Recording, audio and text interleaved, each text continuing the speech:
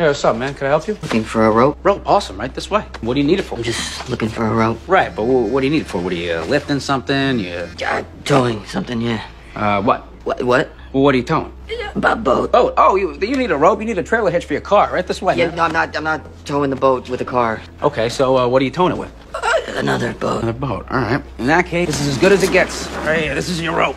Yeah, no, that's that's gonna be too thick. Um, Too thick. Yeah. All right. All right. Then uh, runner up would be uh, right here. Oh, that's nice and thin. um, you know, it's gonna be a little scratchy. Uh, Scratchy. Why does that matter for a boat? you know what? Maybe maybe just ten feet of this one. This looks pretty good.